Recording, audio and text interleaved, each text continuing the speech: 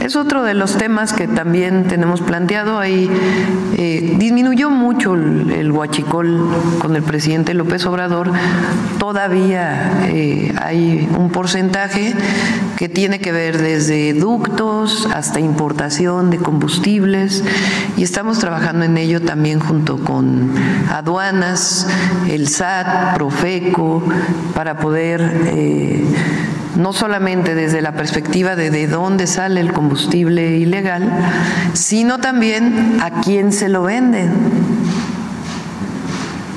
que es una parte muy importante, porque hay una cadena. Entonces disminuyó bastante y de lo que queda es de dónde viene, cómo se controla en el origen y después cuál es la cadena en donde entran y si llegan a gasolineras, por ejemplo.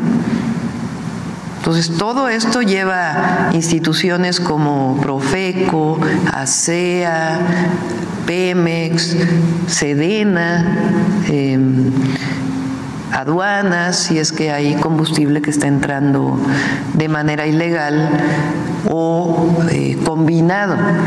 El, aduanas en el gobierno del presidente López Obrador tiene ahora laboratorios en sitio que antes no tenían, porque antes había una muestra, se mandaba al laboratorio, regresaba cuatro días y se prestaba muchas cosas. Ahora ya hay laboratorios. Entonces todo esto porque queremos pues evidentemente erradicar el huachicol.